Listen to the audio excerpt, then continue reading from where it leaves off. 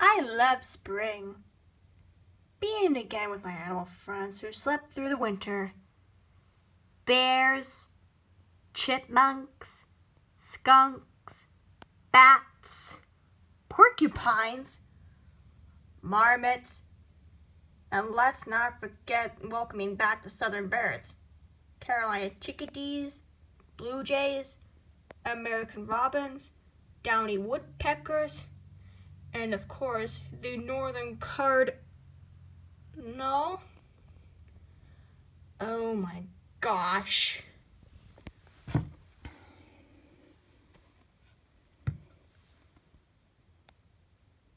Oh, I get it. Cardinal.